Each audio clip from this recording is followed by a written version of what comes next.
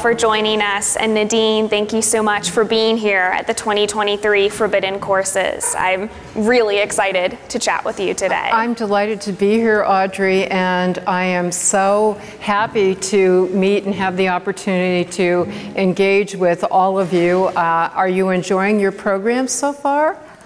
well, I don't know. Would I think in this group, if you weren't, you would. How many of you are having a really bad time?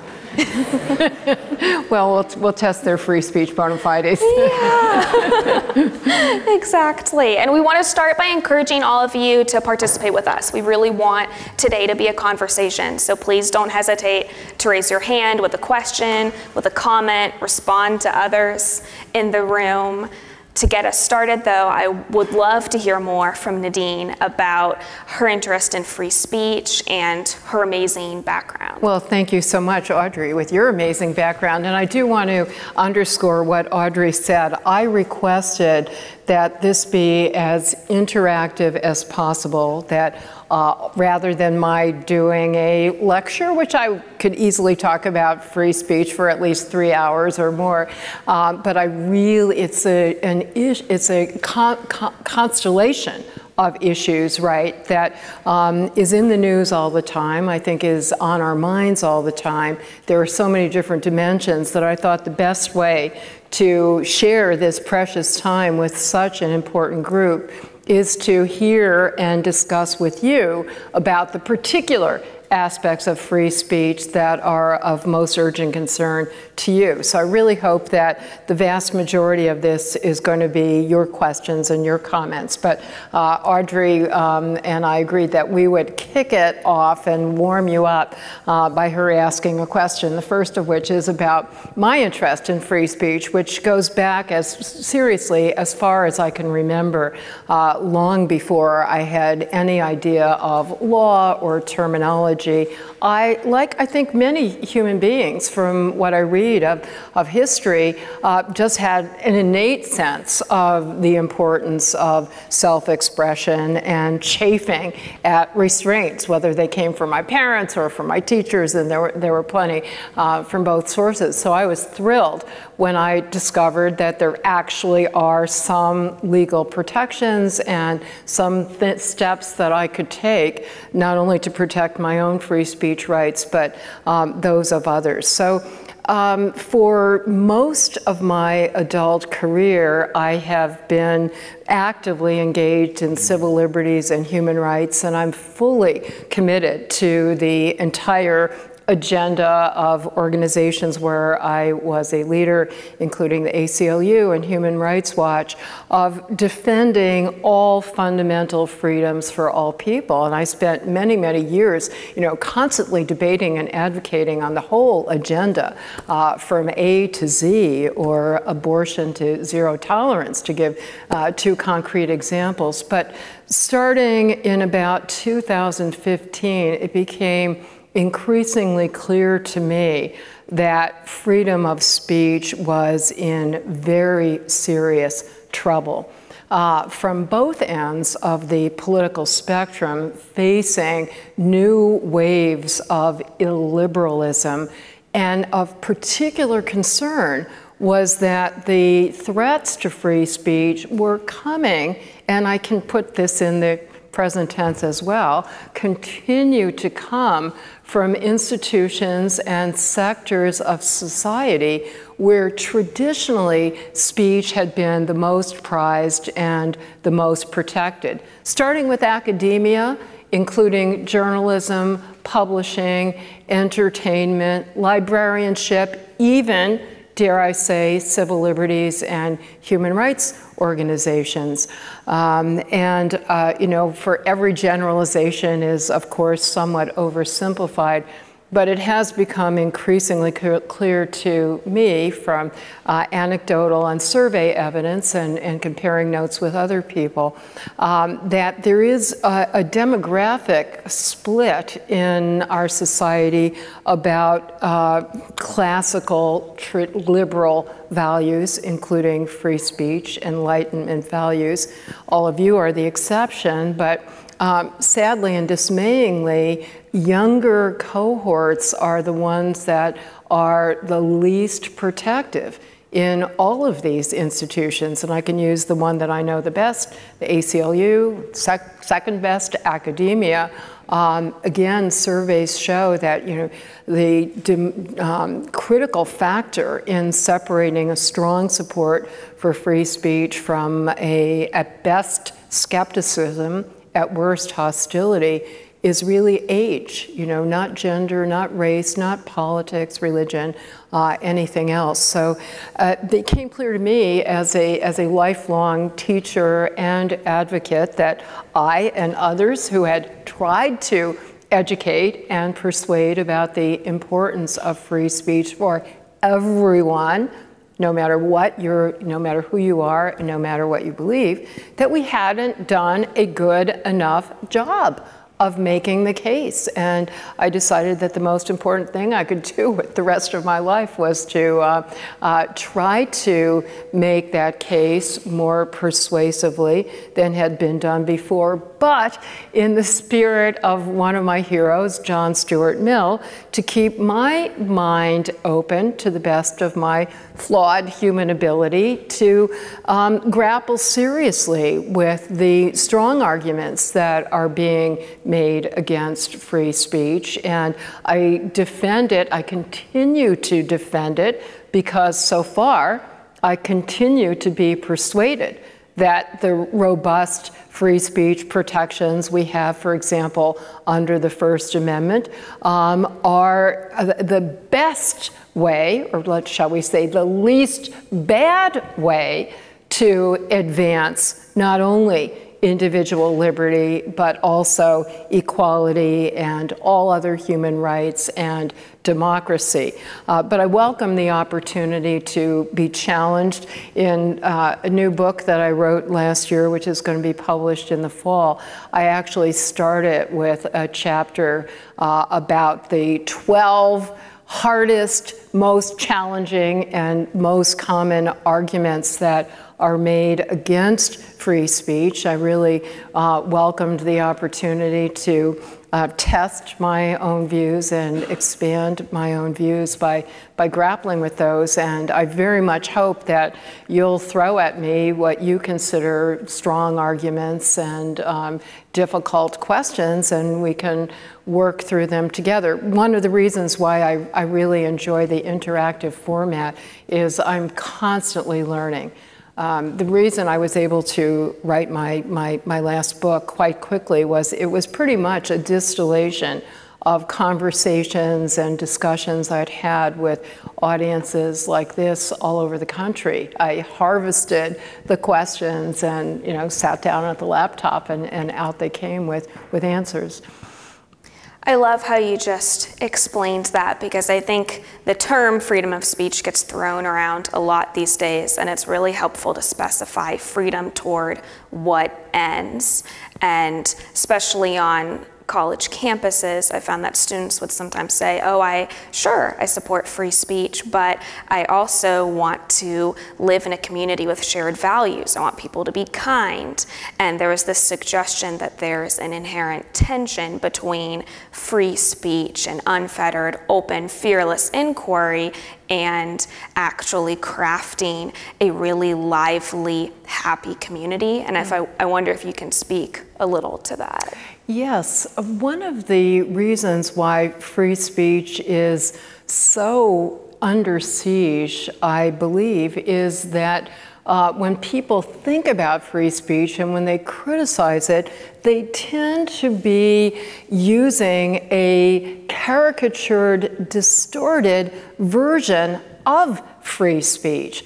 Uh, a show on National Public Radio called On the Media twice within the past couple of years has had hour long segments that purportedly were about free speech, uh, on which they had not a single expert uh, who, on free speech who was defending it. Every single person on the program was somebody who was demonizing it and caricaturing it, uh, which, by the way, I thought, well, I, I, will, I will organize a counter program. I didn't have access to NPR, but I organized uh, a couple of podcasts on the uh, FIRE website. Matt Taibbi was one of my debate partners.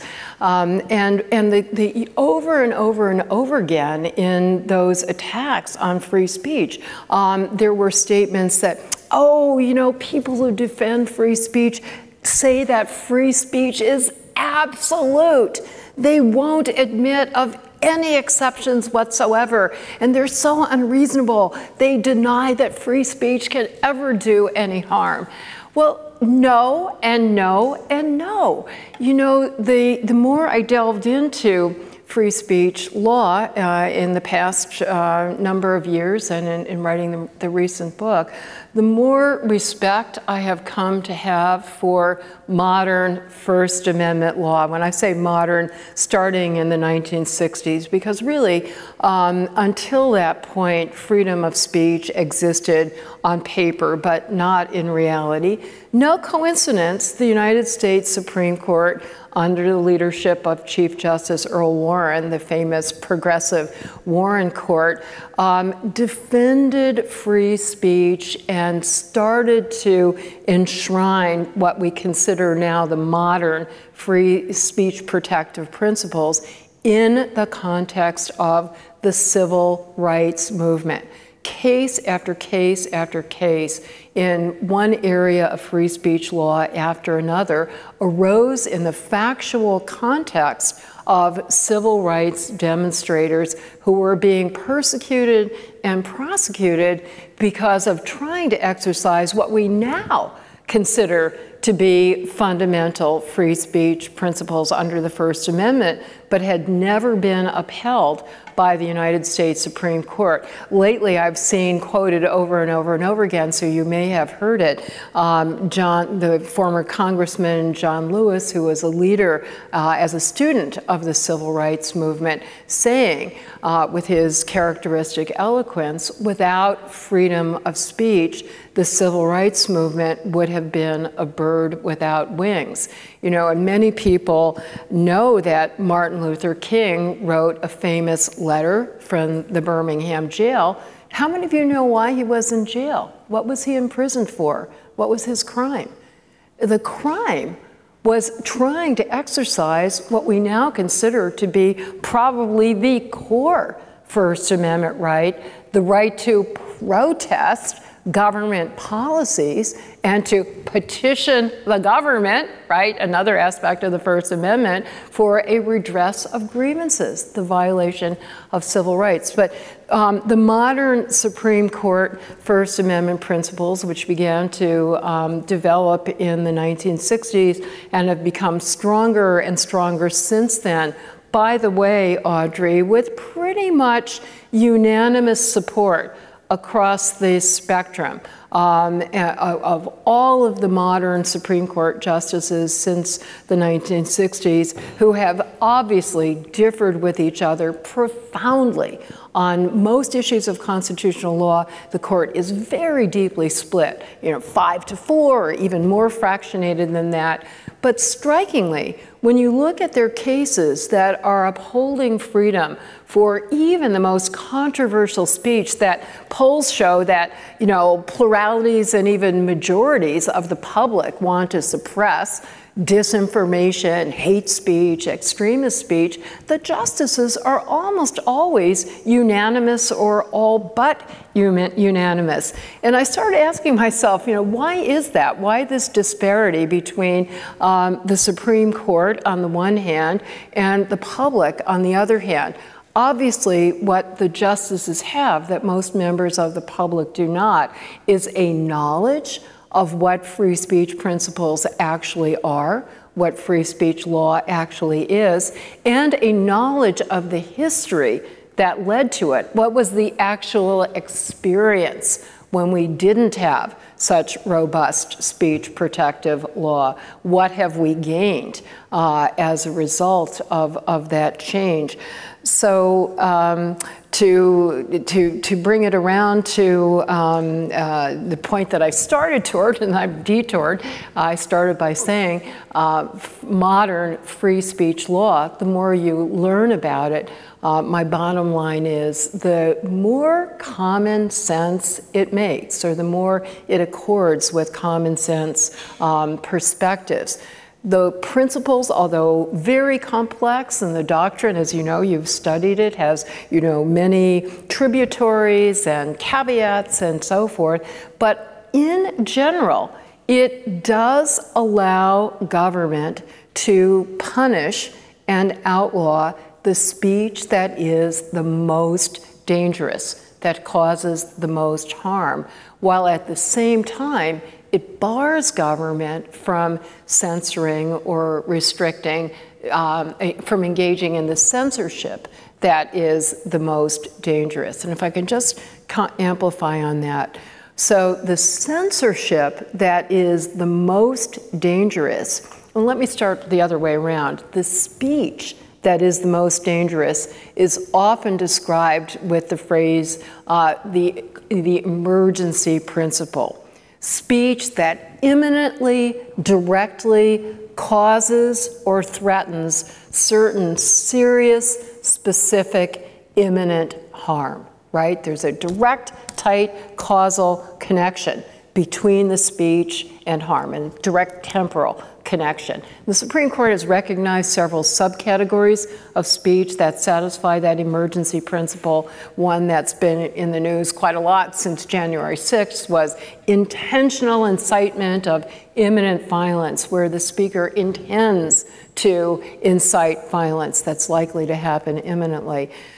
Flip to the most dangerous censorship, and that is when the government's reason for restricting the speech is not because of a tight and direct causal and temporal connection between the speech and specific harm, but rather solely because of dislike or disagreement, disapproval of the message, the idea, the viewpoint, or because there is a more speculative, indirect connection between the speech and potential harm.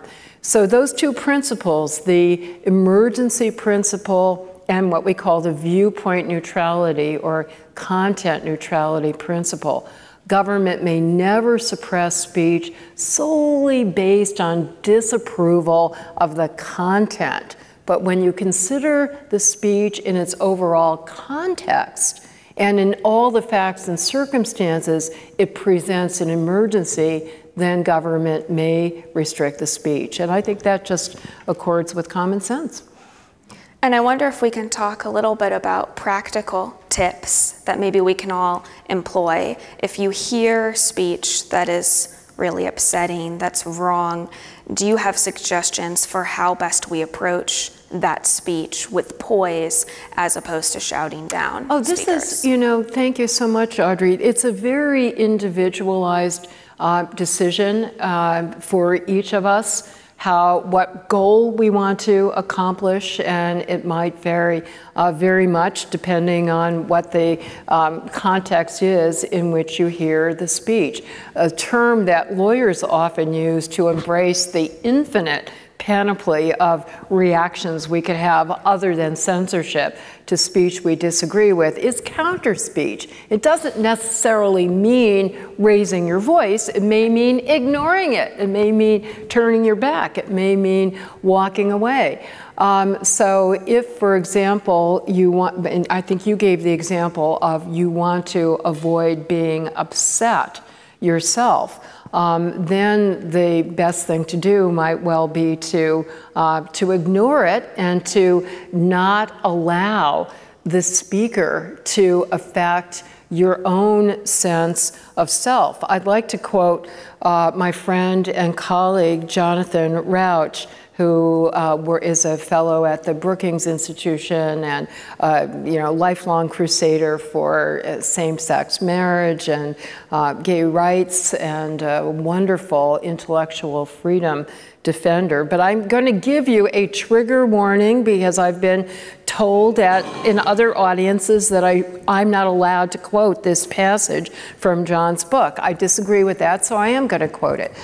Um, but um, he was talking about how if somebody says something that is um, insulting, including homophobic, phobic, he's a, a gay man, it's, he doesn't necessarily have to feel insulted or disempowered or degraded by that. And I actually, in my book on hate speech, I think I quote Eleanor Roosevelt, a great human rights um, champion, saying something like, nobody can hurt your feelings unless you give them permission to do that, right? It's how you right. perceive it.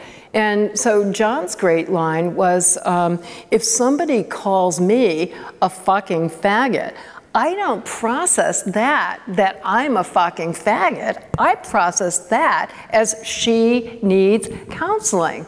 So, in other words, oh, thank you.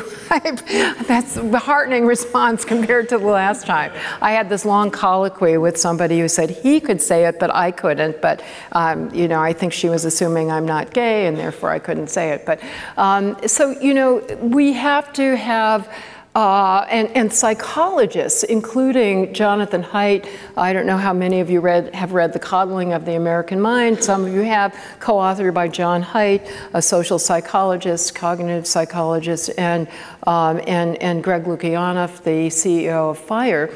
And there, one major point is precisely from the perspective of the emotional and psychological well being of people, censorship is not the way to go. You put aside all the First Amendment free speech principles. If you care about somebody's psychological health, it is counterproductive to convince them that they should be harmed and to cater to the harm, but rather there are techniques techniques, including cognitive behavior therapy, that all of us can use to increase our self confidence and our resilience and to let the words bounce off us. You know. Going off of that, do we have any questions or comments? Or comments, thank you. Yeah. Yeah, Ian? Uh, Hi, Ian. Thank you for speaking with us. And Audrey, thank you for hosting. Um, my question is I was reading recently James Burnham's book, The Suicide of the West. I don't know if you're familiar. I haven't read it. Well, one of the premises he lays out is that in a liberal society, we defend free speech of everybody, and that in some ways gives an advantage to those of us among us that are illiberal, because in sort of a game theoretic way, they have an advantage in that they don't have to allow us to speak, but we have to allow them to speak. I was wondering if you could kind of comment on that idea and if that makes any sense in the context of like where we find ourselves today. It, Ian, it doesn't make sense from a legal perspective because all views are equally entitled to freedom of speech, no matter how illiberal they are. I mean, one of the points I make in, in constantly is no matter what your ideas are, including ideas against free speech, you need freedom of speech in order to be able to advocate them. So um, now, if you're going to talk about um, uh, other instruments of censorship, which we unfortunately have in the private sector, which are not susceptible to First Amendment standards, um, then there is a disparity. I mean, if all the social media platforms, let's say all the mainstream ones, share a certain perspective, then disproportionately they're consistently going to be suppressing uh, views that are antithetical to theirs, which is, I guess, you know, re, hopefully capitalism will um, enter to the rescue and new platforms will emerge that will, um, will uh, prefer other perspectives or maybe even a, a more neutral free speech perspective. But government is equally disabled. Um, a lot of us like to say that there's a golden rule to free speech. And this is a paraphrase of the First Amendment viewpoint neutrality principle that you have to defend freedom for the speech that you loathe or there's not going to be freedom of speech for the speech that you love, and vice versa. My name's Tobias. Tobias, hi. Thank, thank you also for being here. Uh, so, I'm not an expert on free speech, but you are, and I uh, a lot of the time uh, when I'll be discussing these ideas with friends, they'll bring up these counterpoints that I don't, I, I'm not really able to muffle through, and one of them is if someone is, you know, th- there are lots of campus talks that happen at universities where protesters will come and shout to stop that person from speaking. Uh, I think Matt Walsh is a great example of this. And one uh, counterpoint to free speech that my friends would give is well, it's the free speech of the protesters yelling above that person. So, given your expertise, could you explain how that doesn't fit into the law or, you know, the definition, Yeah. so that next time I can speak against them? I hate to put you on the spot, but if you would like, I'd love to hear your best answer to it, and then hopefully. But if you if you don't feel if you don't want to do that, uh, that's fine with me too. Uh, I remember seeing like a tweet from Paul Graham who tried to explain why it wasn't that wasn't acceptable. Um, don't don't worry about it. Does anybody else want to? You want to call on a volunteer? Yeah, you're the closest to me. Yeah. freedom of speech when no one's listening. People are screaming and you can't even articulate what you have to say. What you have to say, uh, then it's not really freedom of speech. It's it's a zoo. Okay, and I see another. You should call on people, Audrey. Sorry. Yeah, no, feel free to call on people. Oh no, you, I would rather you do it. Um, yeah, in the second row there. Yeah. Go ahead. Would it be considered censorship at that point if you're not letting them speak? Uh, would that be then censorship and not free speech? Okay, and do you mind telling me your names? You were, I'm sorry? Johan. and you are? Eddie? Eddie? Eddie? Anybody else want to chime in? Well, these, I think you both, oh, sorry, somebody in the back. Hi, I'm Dan. Uh, to Johan's point, I agree that uh, it's not speech if it's noise. It's literally the definition is that it's incomprehensible. How can Okay, so one, let's take one more and then I'll, I'll try to add my two cents for what they're worth. Uh, hi, my name's Sherry. Um, I just wanted to say that free speech actually constitutes two parts the right of the speaker to speak, and also the right of the person who wants to listen to hear. Brilliant. Yeah, these are all really, really good points. Um, so let me kind of wrap them together and distill it. You have a right to engage in protest. That is absolutely correct, and I would fervently defend the right of protest as long as it is non disruptive and peaceful. Once it crosses the line to interfere, to impose a, let's say, a substantial interference with not only the speaker's right to convey information and ideas, but as Sherry rightly says, the other part of freedom of speech is the audience's right to hear information and ideas. That constitutes um, a zoo, as uh, Johan put it, or censorship, as, um, as, as Eddie put it.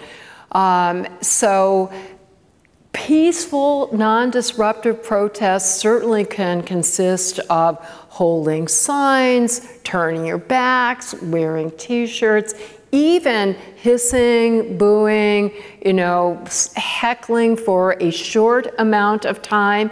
But when it gets to the point that um, you are making it either impossible to hear the speaker, or in some cases, the speaker is actually escorted out of the event for fear of security uh, and safety, that obviously has crossed the line into disruptive, um, non protected protest. There's a term that was coined by a u- great University of Chicago. I'm looking at Audrey because she's a proud graduate of the University of Chicago. I know there are a couple UC students here. Um, Harry Kalven, a great free speech scholar, and he wrote a um, groundbreaking book about the connection between the civil rights movement and the Supreme Court's protection of the First Amendment, which I alluded to earlier. He coined the term heckler's veto.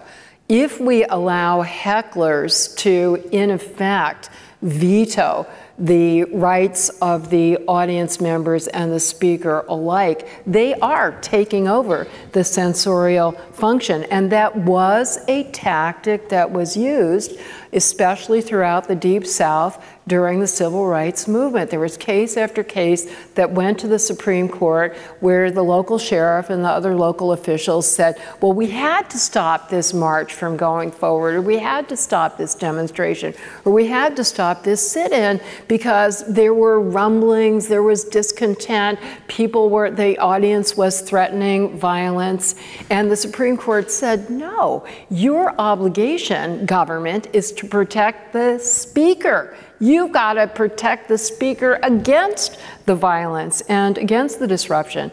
And one of the sad failures at many uh, edu- so called educational institutions, such as Yale Law School, that was a dig, um, um, you know, is the failure to enforce not only free speech principles, but the university's own rules and the failure to discipline students and others who violate those rules. Because once you know that you can get away with interfering with free speech um, with impunity, then it's an incentive to keep doing it in the future.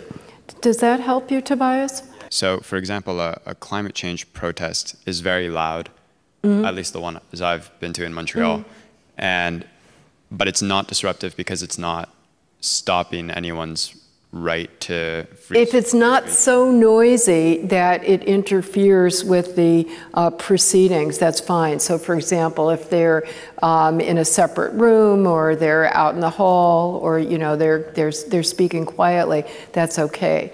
And, and so the non disruptive standard is what we lawyers would call a content or viewpoint neutral standard. Even if they were cheering on the speaker, right, saying, We love you, well, if the, you know, no matter what the message is, if it interferes with the ability literally to hear the speaker, uh, that becomes unprotected. Now, in fairness, uh, as with all First Amendment law, you have standards, and then you have the question of how do they apply in particular facts and circumstances. There is no bright line distinction between disruptive and non disruptive. For example, one of the very first law school shoutdowns was uh, at CUNY Law School of uh, Josh Blackman, who teaches at, uh, in Texas. And um, he was interrupted by, uh, for, I think he was supposed to speak for about an hour. There was an hour long event, and the protest went on something like 20 minutes. Same thing happened at Yale Law School recently.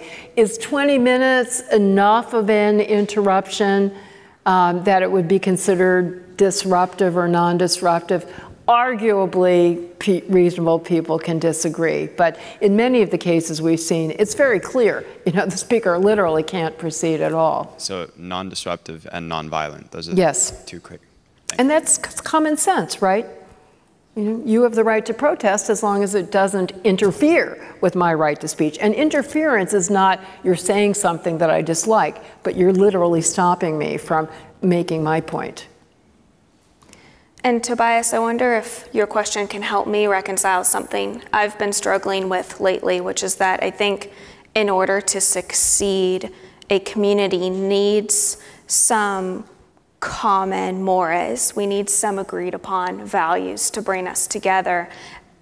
And sometimes I worry, and I tried to get at this in my question earlier, sometimes I worry that if we have unfettered freedom, then we struggle to form these cohesive bonds with one another.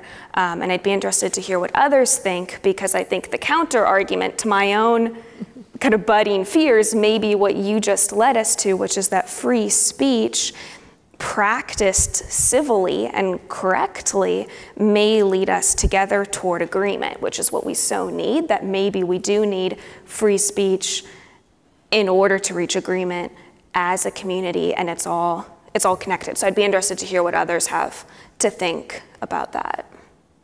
or any other questions too. Feel free to join in. My name is Jonathan. I'm uh, from Northeastern University, and there's actually a neuroscientist out of Northeastern University, uh, Lisa Feldman Barrett. Oh, right, yeah. So uh, I'm sure you're familiar with her argument, but uh, uh, just for the crowd, um, uh, she makes the argument that uh, certain speakers should be limited on campus, such as uh, that are self-proclaimed uh, provocateurs.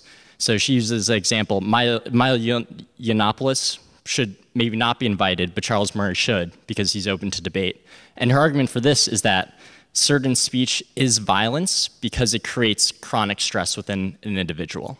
Um, I wanted to hear your thought about that and uh, uh, whether or not there is some type of biological argument for uh, limiting free speech on a campus. Yeah, well, thank you so much, Jonathan. You made two points. The, the more important one, uh, they're both important, but I think the, the, the one that you focused on, um, I have not read her scholarship in detail, but she did have an op ed in the New York Times that I think was a response to the coddling of the American mind, and then Jonathan and, and Greg responded to her.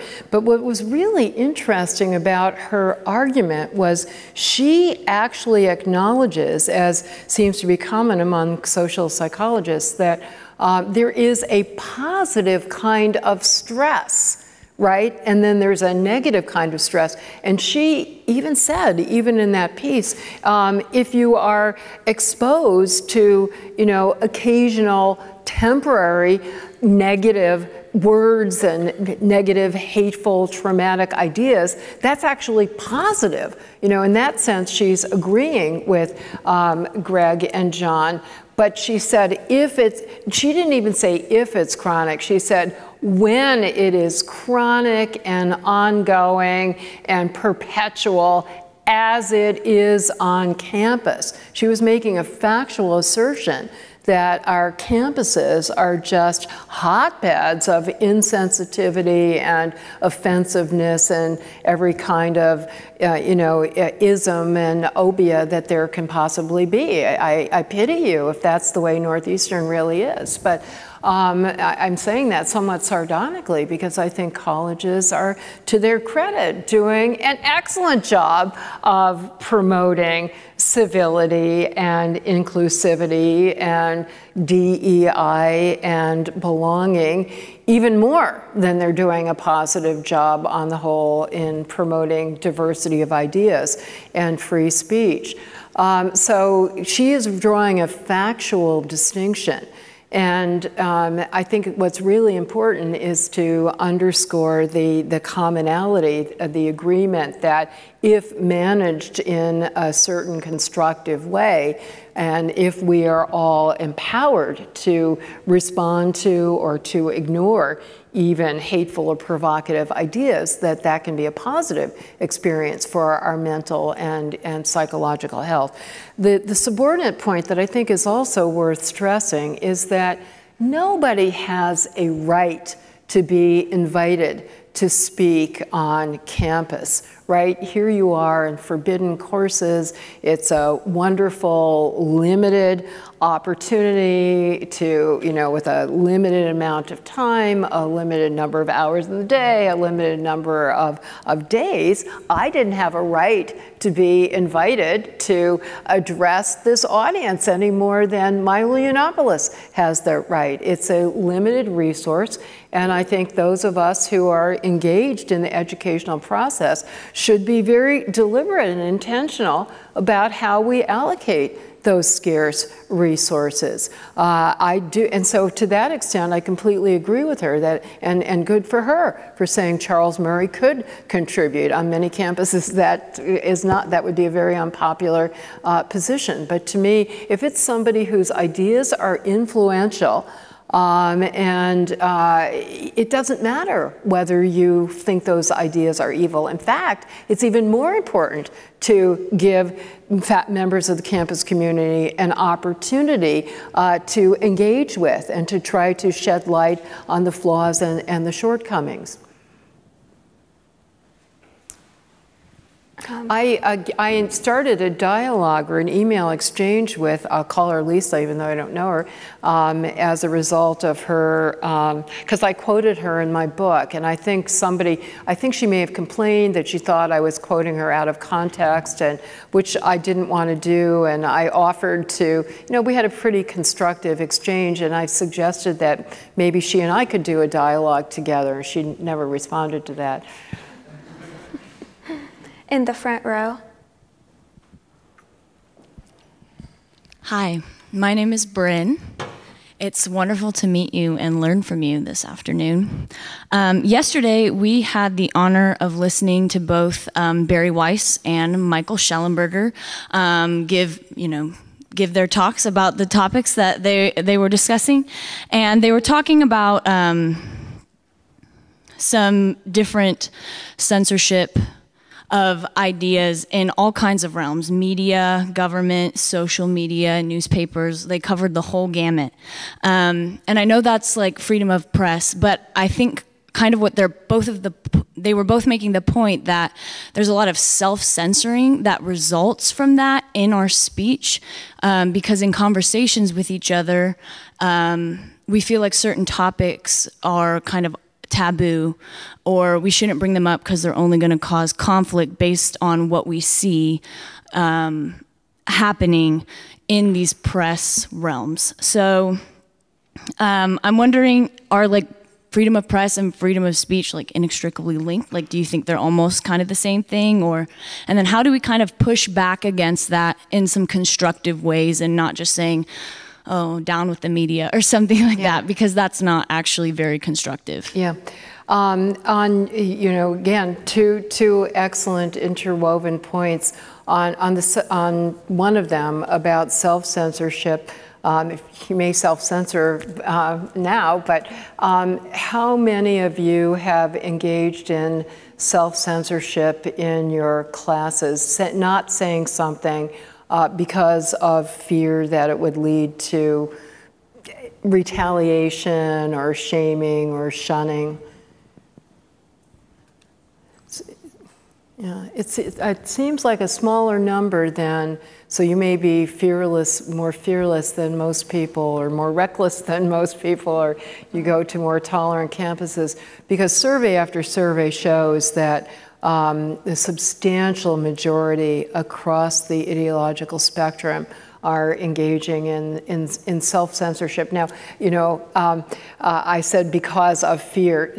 One way to think of self-censorship is that it is a form of freedom of speech, which includes not only the right to choose what we will say, but also the right to choose what not to say. And there are all kinds of reasons. I think going back to your really important points, um, um, Audrey, about we want to be kind, we want to be civil. So if you can express an idea in a way that is more constructive uh, and more polite, you should do that. And all of I, as a teacher, as an advocate, I'm always searching for a way to communicate most effectively, which means not saying a lot of things as well as saying a lot of things.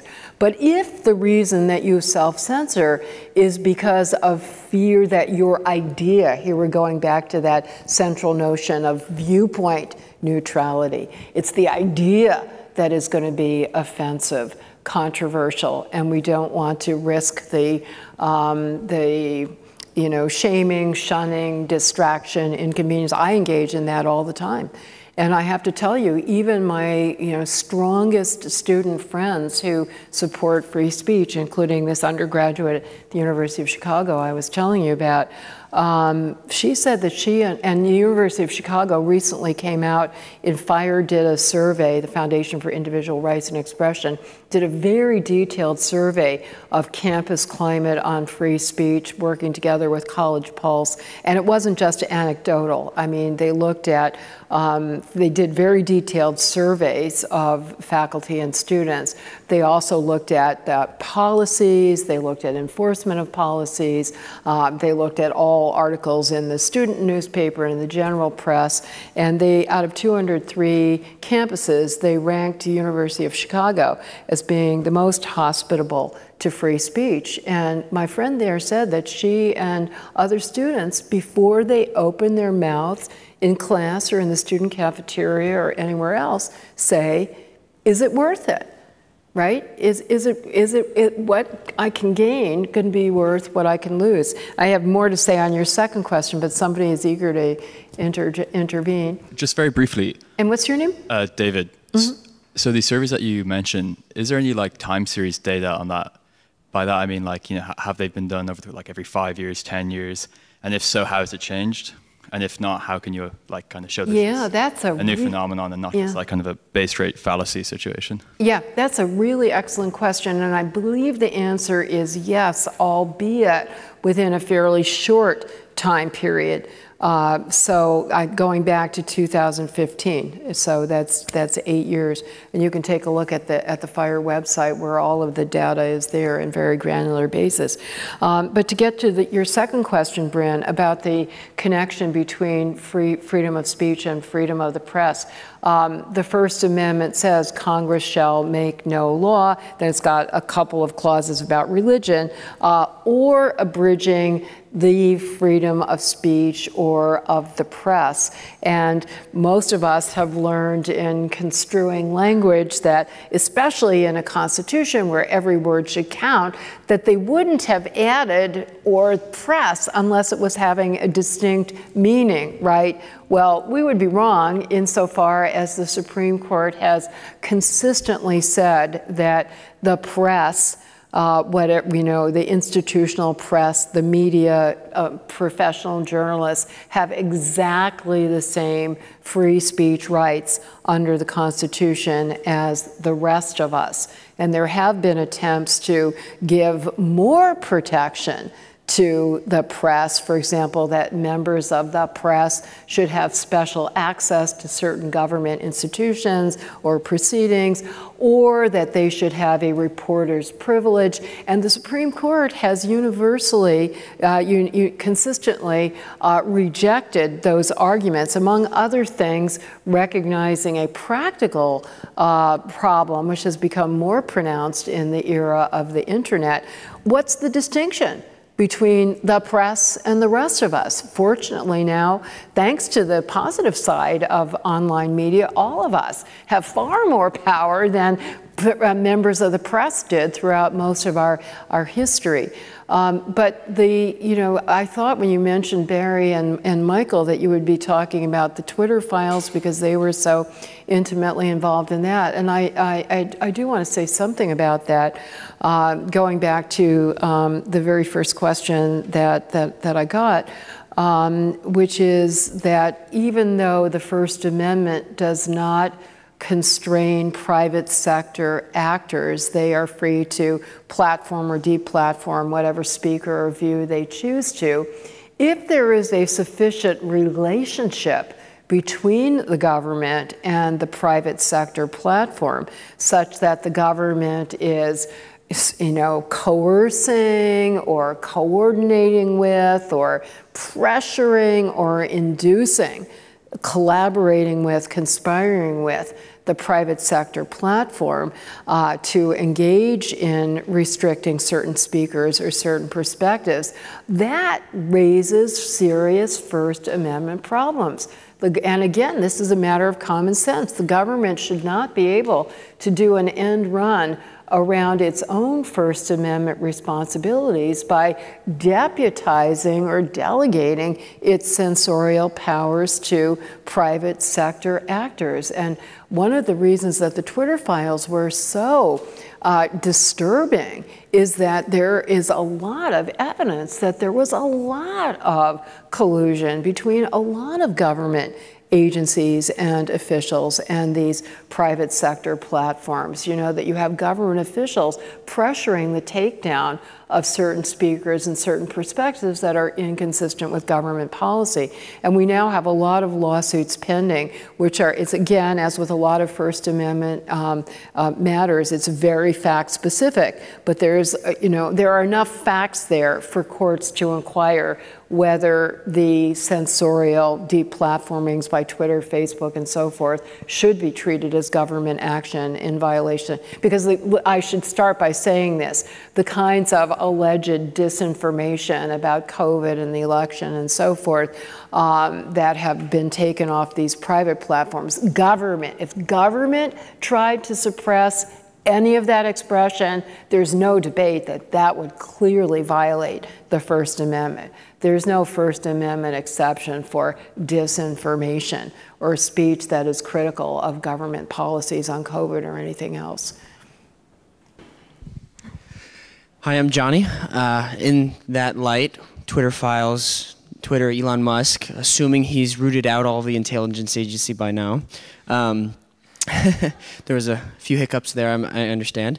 Um, you know, it was revealed with maybe the Matt Walsh What is Woman documentary being posted on Twitter. Elon Musk reiterated an idea that was before him arriving, but he's now decided to take on the freedom of speech but not reach in terms of, you know, sitting next to advertising and, and those things.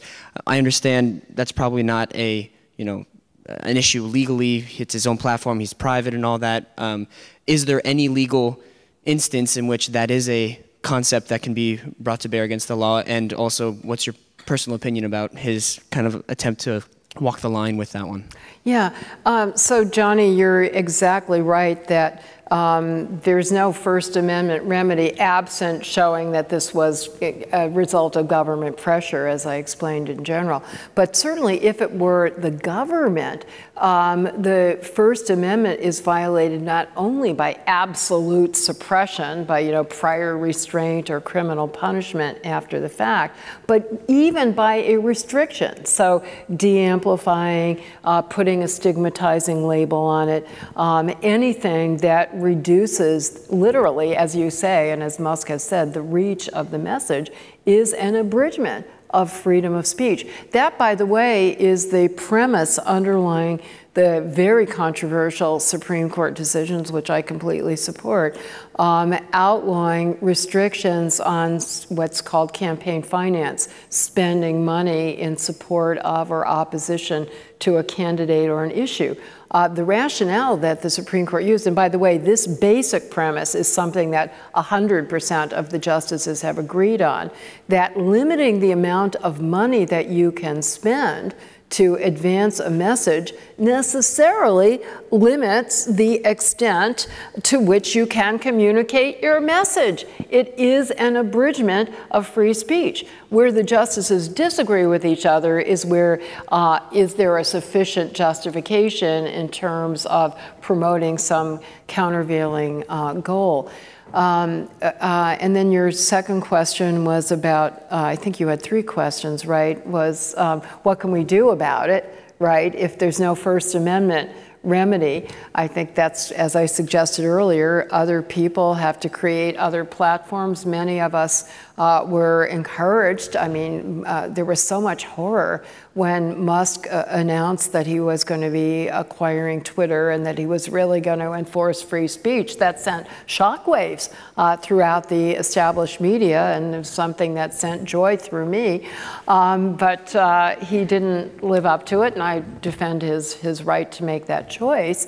Uh, but I surely wish that there were other platforms that would in my ideal world, each of us would be able to find a platform that accorded with our own preferences or you know what my friends um, who specialize in these issues at uh, my favorite organization that works on them is EFF, the Electronic Frontier Foundation. And they combine a knowledge of technology with really robust commitment to First Amendment. And their engineers say that um, we can use interoperable you know programming to allow allow, that each platform should be required to allow each of us to have an intermediary that would uh, use exactly the filtering that's consistent with our own personal preferences. That to me would be ideal. Any responses to that or further questions? You know, we have so many questions that are hands that are up now, which is wonderful. Maybe we could take a group and I can self censor in the positive way of having some shorter Yeah. answers to a bunch of questions. Yeah, that would see be quite a great. Yeah, we can this just go across the room. That would be wonderful. yeah would you like to Uh, w- I'm Johan, by the way. Uh, I where know, do I you- remember. Yeah. Uh, where do you draw the line in terms of um, things like symbols and particular groups that have uh, historical uh, Mhm. legacies that aren't the best in the country and around the world? Okay. Um, so that's the Like the swastika, for example. Swastika, yeah, yeah. people walk around in in Klan Yep. uh, bed sheets, Yep. that kind of thing. So my question is about civil What's your rights. name, please? Uh, my name is Brian, Brian Chow. Hi, Uh, Brian. so my question is about civil rights laws, particularly the hostile work environment Mm-hmm. standard. So it's been used in multiple civil suits to essentially punish companies for not silencing their employees Mhm. on uh, political certain topics, particularly race and sex. Mhm. Uh, do do you believe that civil rights laws, as they are enforced currently, are are um, incompatible with free speech? Okay, hello, I'm Amy. And did you say Amy? Amy, yeah. And I think this has been touched upon, but it seems like there's a dichotomy in free speech where we want to limit hate speech, but we also don't want people to feel like they might get canceled if they say something outside of like the narrative. Right. Um, so I was wondering if you've seen communities that have created a space where there is like a balance between the two, other than here, and Yeah. also um, that they have the ability to like constantly like have change change each other's minds and have like strong ideas that are weakly held. Great. Maybe one more for now, and then we can take the next round. Hello, I'm Joe. Um, we Joe? spoke Joe. Mhm. We spoke a lot about the legal case for for speech, free speech, and I'm curious to hear uh, more of a moral case for Mhm. free speech. And you mentioned uh, John Stuart Mill, Mhm. uh, and it seems like there could be a utilitarian case Mhm. that could be made against free speech. So I'm curious to know how you come to Okay. free speech through morality. Well, thank you. These are excellent questions, and, and the hope that there are others. I'm going to self censor in the positive editorial way of trying to be brief, so I can't. Um, uh, let me say something that I should have said at the outset. If this were a class of mine, or if I had the privilege uh, to teach a seminar here, I wouldn't answer your question. I would do what I did uh, with Tobias, which is ask you, what's your best answer to that question? Uh, because I feel I, my experience is that you learn best when you're thinking and you're not, and hopefully you're doing that, but you have more of an incentive to do it when I'm asking you to do it aloud uh, for the benefit of the rest of us. And then I would ask others of you to chime in. So I'm short circuiting all of that, depriving myself of the opportunity to hear your insights. Um, uh, Johan, um, symbols are a form of expression that are treated exactly the same as any other expression.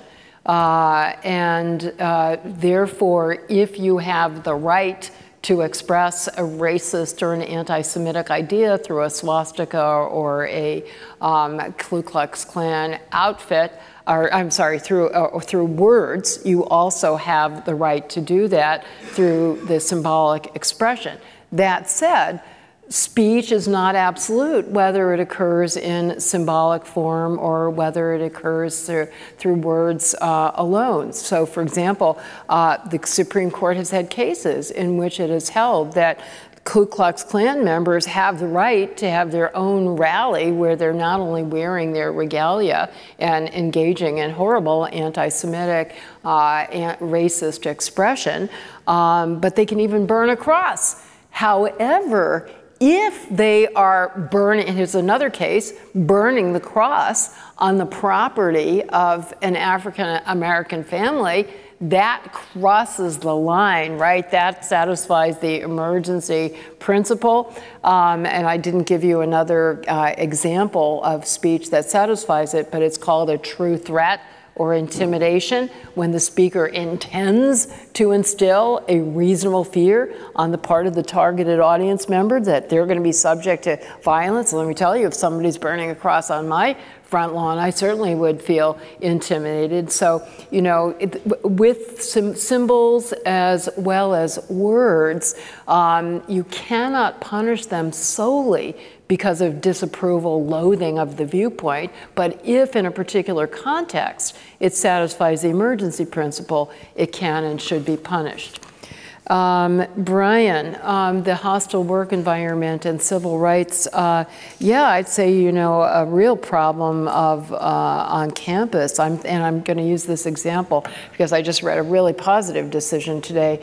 Uh, Title IX has been um, interpreted, I think misinterpreted in a way that is going beyond the very important, legitimate purpose of uh, protecting against and preventing and punishing discrimination on the basis of gender uh, to become a hate speech code in effect and punishing words um, that convey unpopular ideas. And also because of the lack of due process that's a that's a separate problem. Uh, just um, if I can tell you there was a very important decision that was reported today. I think it was issued a couple of days ago, um, where uh, the Connecticut Supreme Court, in a case that was brought by a Yale student who had been completely exonerated in both university and criminal proceedings. Uh, he was accused of, um, of, of sexual misconduct, I think actual rape, and he was exonerated. And he brought a defamation lawsuit um, against the person who had accused him. And it was a groundbreaking decision. It's a little bit tricky because those of us who defend free speech, um, defamation can be used to maybe it silences too much speech. But what remedy do you have if somebody is destroying your reputation? you know, not only invading your free speech and your, you know, right to be on campus, but destroying your reputation, your ability to, to get a job.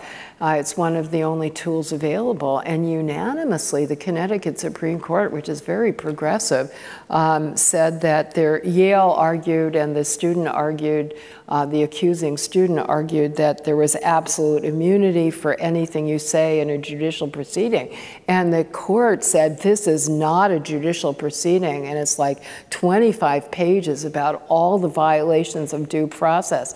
No opportunity to cross examine, no opportunity opportunity to be represented by counsel, no record so that you can't appeal. And these are really kangaroo courts. And I could not be more devoted to women's rights and equality and civil rights. There's, you know, I think we don't need to choose between the two. To me, this is a distortion of civil rights as well as um, of free speech. I could say a lot more, but you know, again, the devil is in the details, and unfortunately, there are a lot of deviled details in these cases. Um, Amy, if I understand it, you're asking, is there a safe space for free speech other than places like this? And yeah, how do you create it? I mean, it's it, it's so, you know, how do we create it even here? Um, I have to say, you know, from a faculty perspective, I remember a year and a half ago when there was the first uh, summit. I'm looking at Lauren, I think that's what we called it, uh, like a summit on first principles for some of us who are on the advisory board and, and others for University of Austin. And most of us are professors, and so many of us were commenting that it was such a relief. It was the first time we could remember where we felt completely comfortable expressing ourselves. And you almost don't realize how much you're stifling yourself until that repression is lifted off. And, and so, what created the trust, which I think you have here and we had as advisors and faculty members, is knowing that we all share uh, a commitment to robust freedom of speech. We're all going to give each other the benefit of the doubt.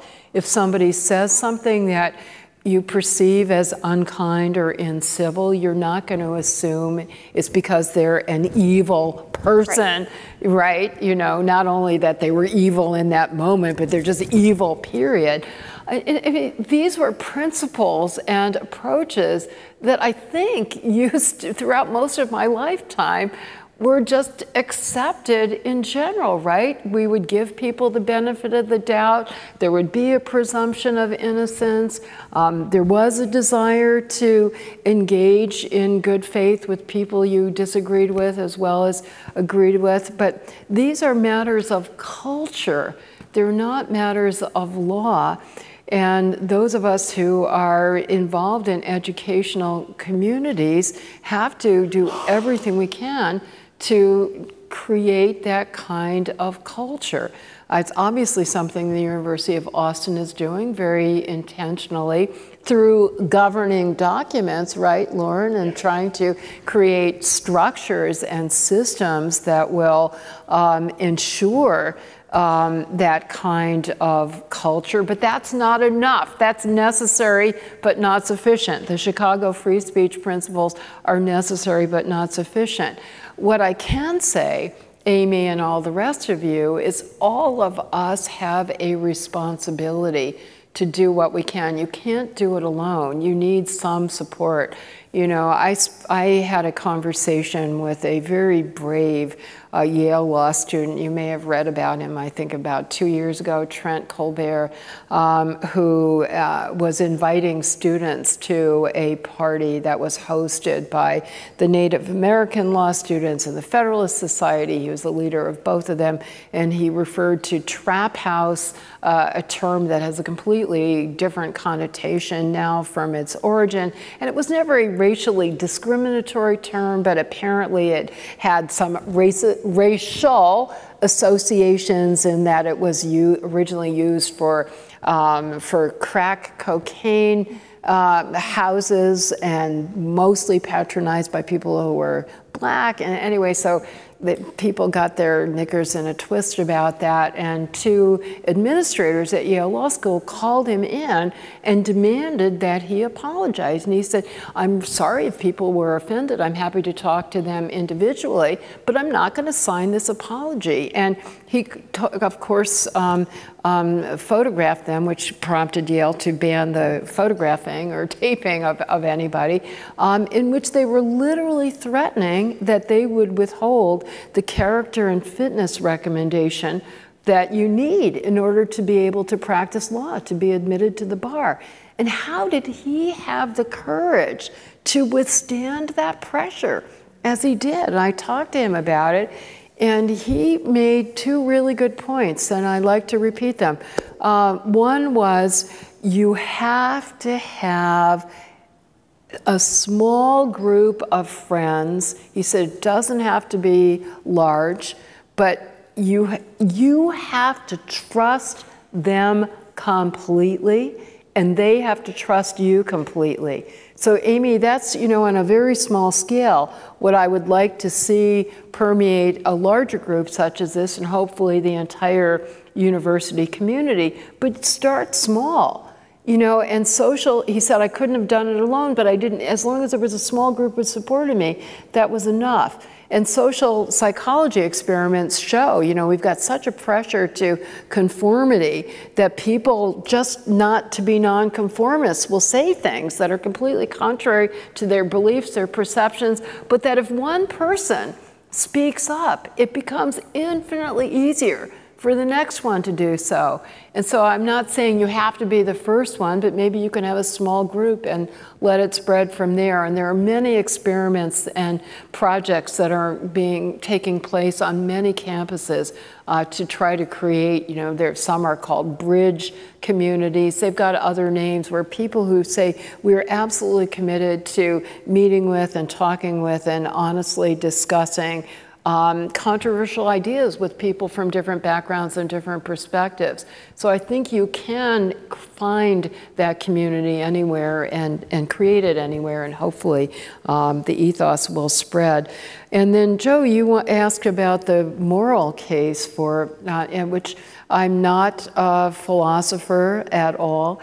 Um, but I have read many philosophers who uh, have supported free speech. And what I think is so interesting, a colleague of mine um, at FIRE, Jakob Mchangama, who founded and heads a human rights um, institute based in Copenhagen and now with an outlet in the United States, uh, last, a few years ago, wrote a book called From Socrates to Social Media a global history of free speech. And what's so striking about that is he shows that, you know, going back to ancient history and around the world in countries with very different governmental structures and, you know, different in every respect, there have always been people who are clamoring for and aspiring and defending free speech. There's, I mean, coupled with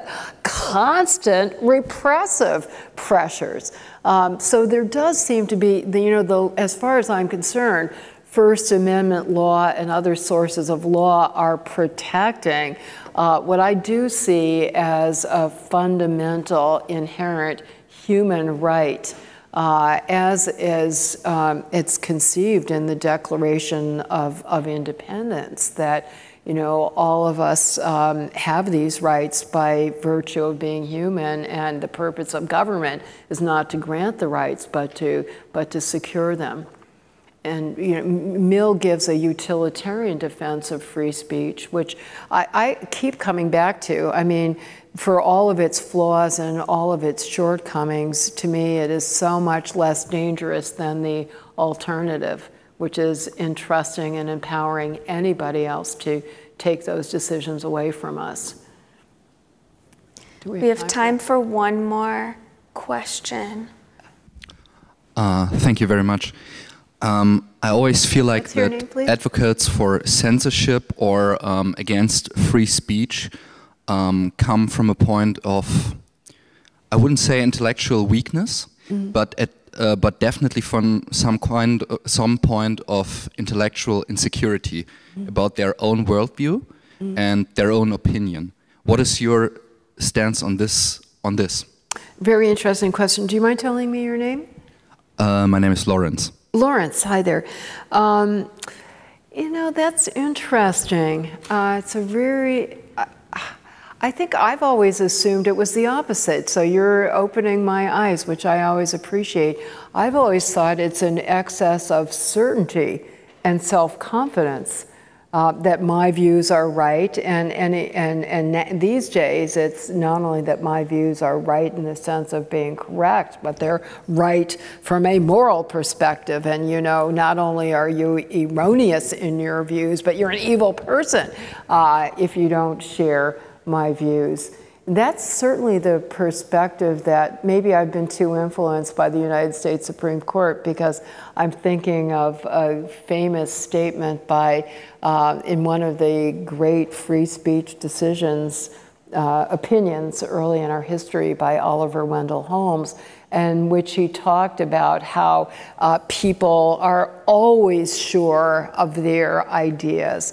I'm so sorry I can't think of the exact language because he said it so eloquently. And that's what emboldens them uh, to insist that other ideas be, be censored. He then goes on to say, but time has upset many fighting faiths. And this is where he says that, and we have come to realize that the best test for truth is a utilitarian argument, um, is in the power of the marketplace to, uh, to debate ideas.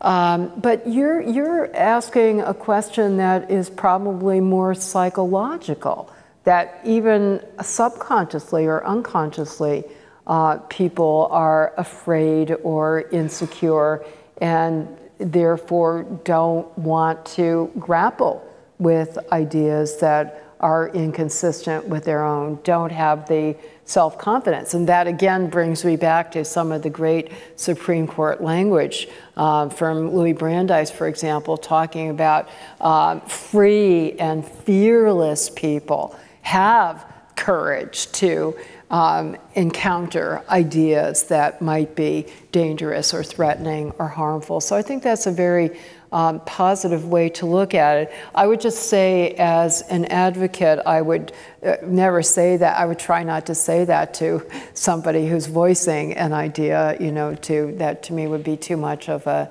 an ad hominem um, argument. So, do I get any closing words, or? Well, I was just going to say, in question? closing, I would love to hear a little bit about your forthcoming book. Oh, well, thank you so much. Yeah. that was not a plant. Um, I, uh, Oxford University Press, it turns out. So, well, how this started goes back to something I said earlier that I have come to realize that so much hostility toward free speech results from ignorance about what it is. And even though I've always separated educating about free speech as I do in my classrooms from or in, even in a place setting like this from advocating for free speech which I do when I testify before Congress or you know do a debate on a TV show or so forth.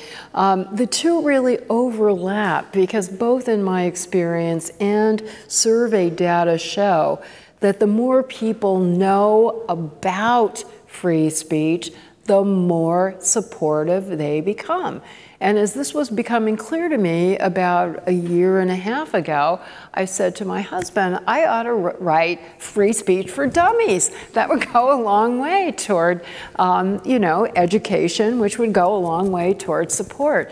And I, I, was talking to a friend who said Oxford University Press has a series that it's not exactly for dummies, but you know it's it's the more sophisticated version for an audience that you probably care about more, and it's called What Everyone Needs to Know.